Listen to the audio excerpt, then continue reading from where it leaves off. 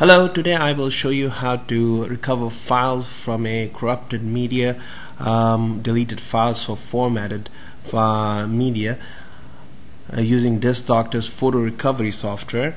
Uh, for our demonstration I have here a 2 gigabyte USB stick. Uh, I will show you that it has some pictures in here um, and I will, uh, for the purpose of this demonstration, I will format it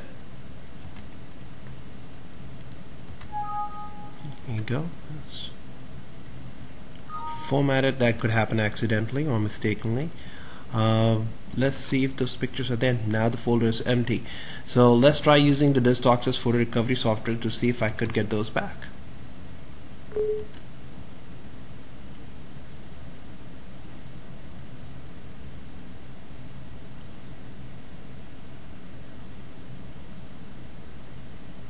I'll use the advanced option and it will pull up everything that's attached to your computer. And in our uh, case of demonstration I have uh, my F drive which is the USB stick.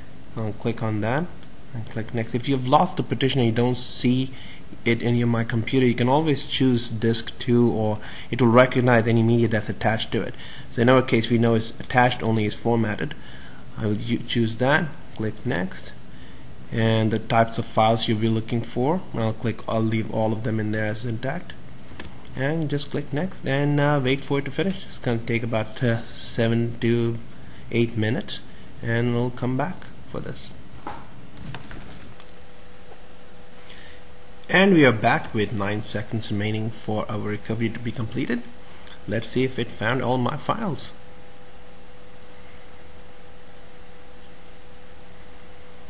Okay, found 13 JPEGs, 4 MP M4s, M4As, um, that's music files. I got 5 movies in there as well.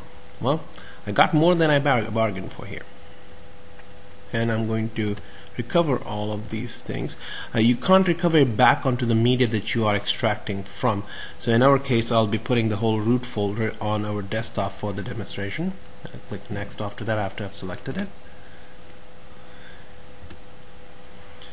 Desktop it is and okay.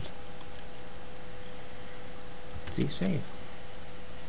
And create size folder on my desktop called photo recovery let's open it up and see how much I got in there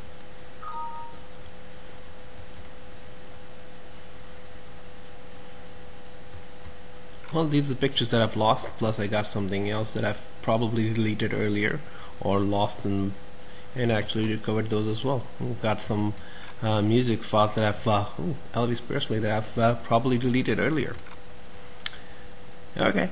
Have a nice day now. Bye bye